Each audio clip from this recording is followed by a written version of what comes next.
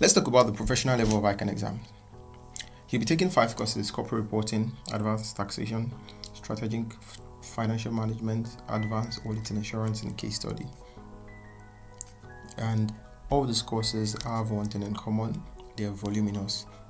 And what you want to do is, depending on, on the number of courses you want to take, I recommend, if you're writing all five, I recommend at least four months in the minimum of study and treating past questions because they are voluminous and except you want to forecast and just guess and read some sections it is almost impossible to cover the entire syllabus of the professional stage of the exam in a very short time except you are reading and studying full time.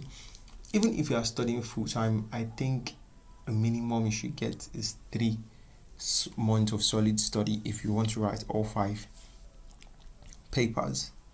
And um, then the thing about the professional level of the exam is that they expect you to be professional in your approach to questions and also in how you present your solutions. And one thing and I noticed about the exam many people don't know is that there is a way the examiners expect you to present your answers.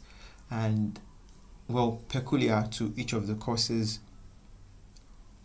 And the way to understand what they want or how your answer should be presented is to spend more time studying the pathfinders and and that's the past questions.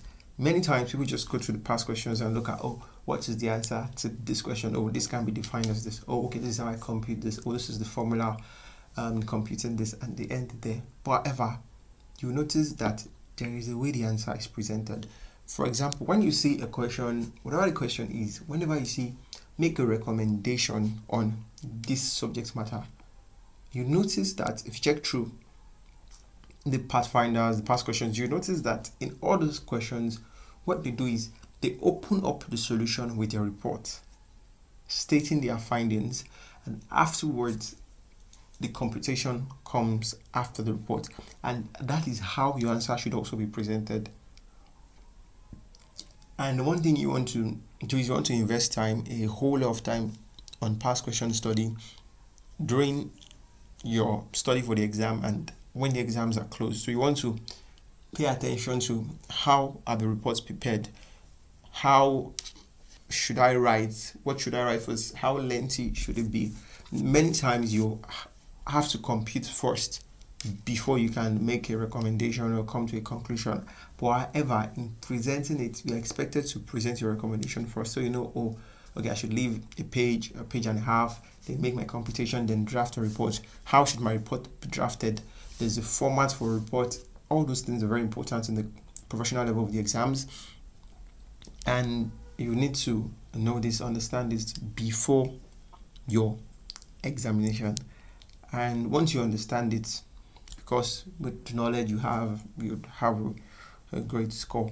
And uh, many people ask what course is most difficult uh, in the professional stage. Well in my opinion i i won't say the in terms of the time demanded for study i won't say they are they demand equal time but i think they all weigh the same because you have to pass all the courses.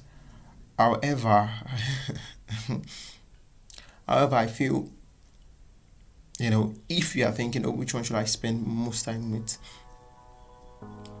I think corporate reporting, then strategic financial management, and advanced auditing and assurance. I think those one, in my opinion, require uh, more time than the other two.